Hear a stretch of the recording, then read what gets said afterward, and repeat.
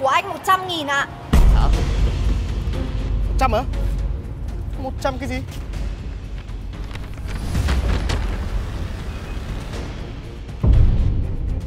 Chai nước này có giá 100 nghìn mà Đây là nước để em kinh doanh Tự dưng anh ở đâu bay đến Anh lấy chai nước của em Xong rồi còn mở nắp luôn Như thế em bán được cho ai nữa Vậy thì tất nhiên Người trả tiền phải là anh rồi Cô bán nước á?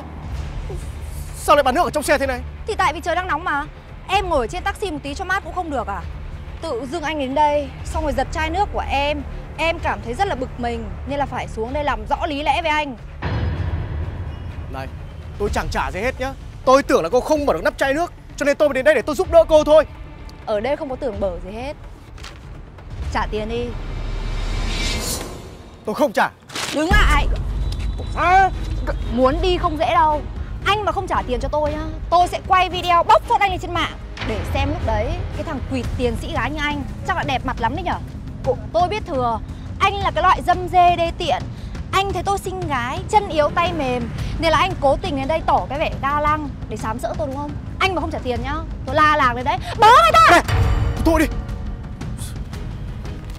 Đây, tiền cô đây. Đúng là cái đồ lừa đảo. Cảm ơn nhá. Ờ Thế không lấy nước à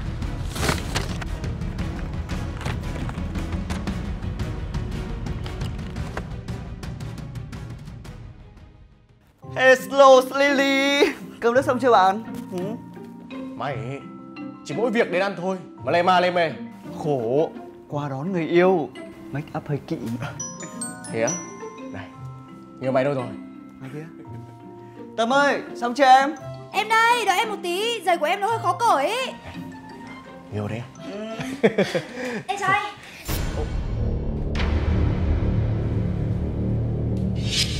Sao đấy? Hai người quen nhau à? Không. Ý tao bảo là Nhớ mày xinh quá. Cái thằng Cứ thấy gái là tớn hết cả lên. Ai cũng khen được. Mồm mép. À, giới thiệu với em. Đây là Phiêu, bạn thân của anh đấy Còn đây là Tâm, người yêu của tao. Hôm nay tao bảo sang nhà mày nhậu Nhưng mà cô ấy cứ lo sợ là tao say Xong cứ đòi đi theo. Tiện thể ờ, Tao cũng muốn ra mắt với mày. Mày công nhận đấy Là khéo chọn đấy nhỉ? Trông Tâm như thế này Đúng là giỏi việc nước Đảm việc nhà. Đương nhiên Người yêu tao làm tiếp thị nước Cô ấy tháo vát Giỏi giang lắm. Khôn ăn người luôn chứ. Cái gì? Này Mày vừa nói gì đấy? À không Tao trêu ấy mà. Tâm này Em vào bếp em xem cho anh thức ăn ở trên bàn nhá. Hôm nay anh nấu ở nhà một mình Vợ anh đi vắng. Anh sợ sắp xếp cho được tươm tất. Dạ vâng, cứ để em ạ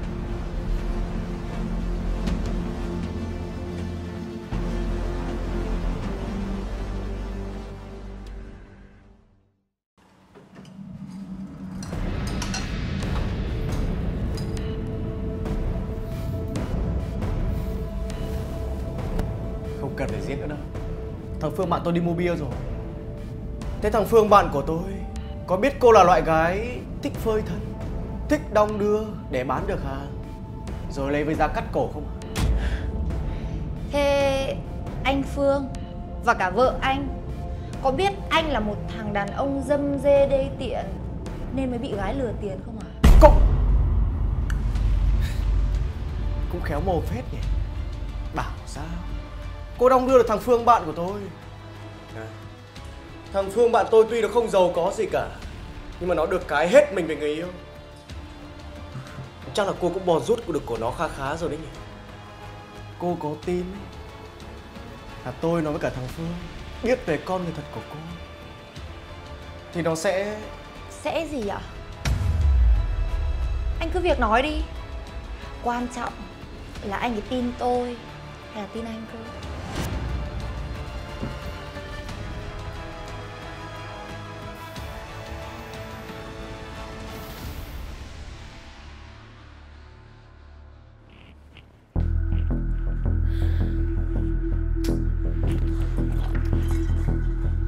Phiêu Dậy, dậy ngay. Đây, anh đang ngủ cứ gào ầm lên thế Mệt hết cả người. Ngồi dậy, nói chuyện cho đàng hoàng đi. Kìa Ngồi dậy Có phải anh lại bỏ một đống tiền ra để mời bạn bè về đây nhậu nhẹt đúng không? Chứ chẳng nhẽ anh không được mời bạn về đây à? Anh mời thằng Phương với thằng yêu nó về đây đấy. Có ba người thôi Anh làm cái gì mà tiêu hết cả vài triệu bạc đấy Thì anh chỉ mua giò chả lụa Rồi là thịt ngựa sông khói. Rồi là toàn là cái mấy món ngon Cùng lắm chỉ vài triệu bạc thôi chứ mấy. Mà này anh mua mấy món đắt đỏ như thế Lâu ngày nó sang chơi. Thì mát mặt anh Cũng mát mặt cả em rồi còn gì nữa. Em chưa bao giờ cấm anh mời bạn bè về đây ăn uống nhậu nhẹt cả. Nhưng mà em không thể chấp nhận được cái thói tiêu xài hoang phí của anh. Anh tiêu lệm cả vào tiền tiết kiệm chung của hai đứa đấy. Thì kiếm tiền ra không để tiêu chứ để thờ. À Đúng là loại đàn bà. Đái không qua ngọn ngọt biết cái đếch gì. Vợ người ta ấy Thì ở nhà lời ngon tiếng ngọt. Còn vợ ở nhà này ấy, Suốt ngày chỉ biết tiền tiền tiền. Đau hết cả đầu.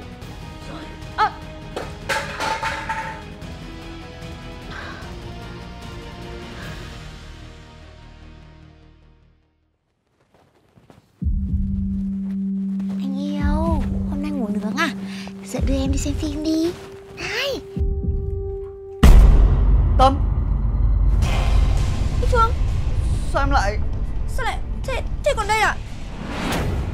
Ơ, sao anh Phiêu lại ở đây ạ?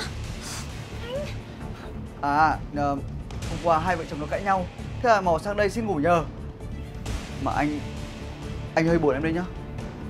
Đến người yêu mình còn nhận nhầm nữa. Ờ, không phải, em xin lỗi mà Tại vì em nhớ anh quá Em cứ thế mà lao vào thôi chứ em có để ý gì đâu.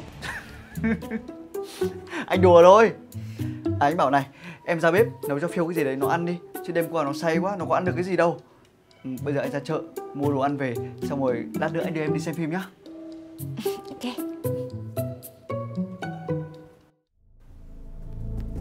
Này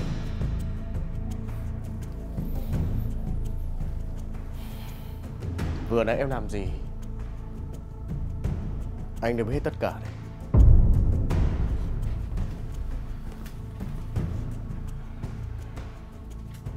Đừng tưởng những hành động của em Mày không biết Em làm anh cảm thấy Thích lắm đấy Anh nói cái gì cơ? Thích á? Nghĩa là anh thích em ấy hả? Em lại cứ tưởng là anh phải ghét em chứ.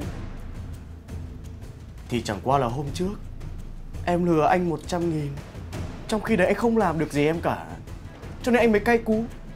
Nhưng mà thôi Chuyện quá khứ không nên nhắc lại. Còn bây giờ Em phải chịu trách nhiệm với anh. Trách nhiệm gì cơ? Thì đấy Em đâu thể để cho anh mất hứng như thế được. Em đã làm từ A Là phải cho tới Z Nói thật đi Có phải là anh cố tình sang đây Để được gặp em đúng không? Cũng đúng. Nói thật với em nhé Là anh chán con vợ của anh lắm rồi. Nó chỉ được cái chửi chồng là không ai bằng thôi. Nhưng về độ xinh đẹp Và quyến rũ Thì nó phải có em bằng bàn đâu. Trùng hợp thật đấy nhở. Anh thì đang chán vợ Còn em Thì lại đang chán thằng người yêu của em. Lúc nào cũng bảo là lo cho em Nhưng mà chỉ được cái nói mồm thôi. Vẫn phải để em đi làm bục mặt kiếm tiền để trả tiền nhà đây này. Thì hóa ra đấy là lý do Mà em bán nước với giá khủng như thế. À? Được rồi. Về bên anh đi. Anh hứa với em Anh sẽ cho em một cuộc sống Khác hoàn toàn So với cuộc sống em ở bên cạnh thằng Phương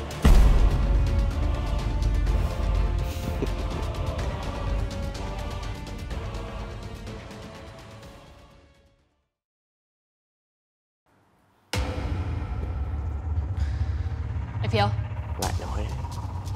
Anh lại làm cái gì Mà đi mua sắm Rồi đi hết nhà hàng Rồi lại còn spa làm đẹp các kiểu nữa? Điện thoại em báo trừ tiền liên tục đây này.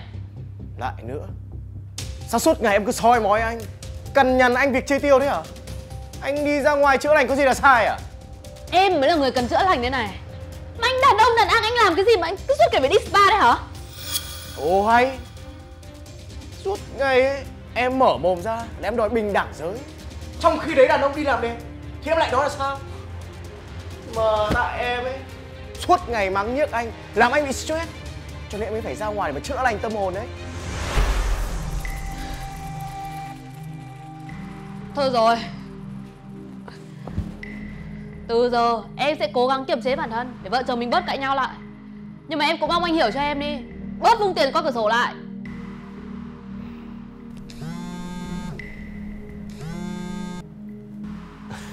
Thì anh biết rồi. Thì em cũng phải ờ, hạn chế mắng anh. Thì anh mới không bị stress. Anh mới không ra ngoài để mà chữa lành tâm hồn.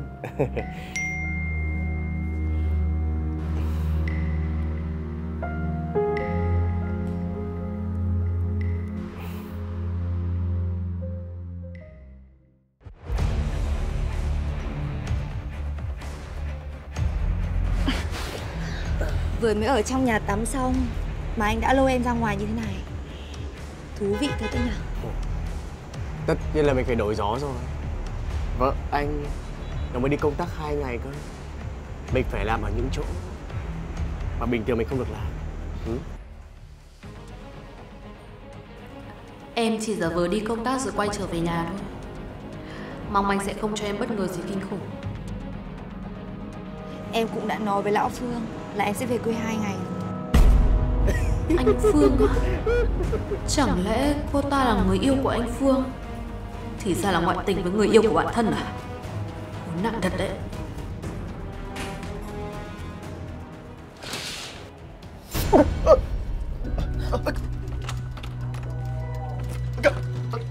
Vợ ơi Em mở cửa cho anh đi. À, Không phải như em nghĩ đâu. Nó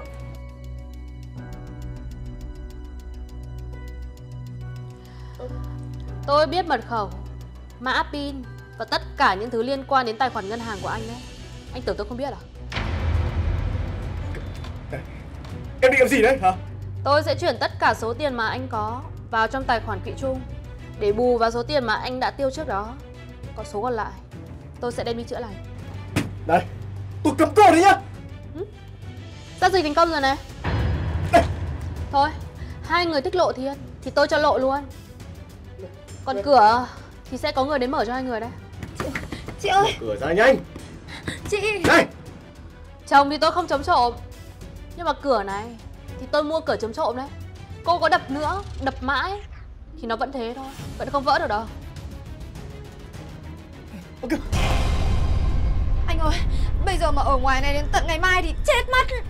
Chết thì không chết. Anh sợ nó báo cho thằng Phương biết đấy. Thằng Phương tính thì cục. Nó mà biết chuyện đấy Nó kéo người đến đây Nó đánh cho mẹ không nhận ra luôn đấy Thế bây giờ phải làm sao? Anh phải nghĩ cách đi chứ. Này Em cứ rổ em nghĩ cách đi. Sới ạ. Trời ơi.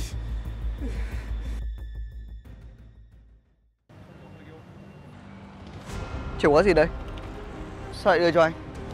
Em có một bất ngờ nho nhỏ dành cho anh. Em đã chuẩn bị nó từ tối hôm qua rồi Nhưng mà hôm nay mới đưa cho anh. Là sao? Anh không hiểu. Ừm, Em cũng không phải tuyết phụ nữ thích đánh ghen đâu. Nhưng mà em muốn dành bất ngờ này cho anh. Anh cứ cầm chìa khóa này Đi thẳng vào nhà em Rồi ra ban công nhé. Anh vẫn không hiểu. Hay là thằng Phiêu nó lại bày trò gì Rồi nhờ em đưa tin cho anh à? Anh cứ đến đi rồi sẽ biết. Còn bây giờ Em phải đi du lịch chữa lành đây Bye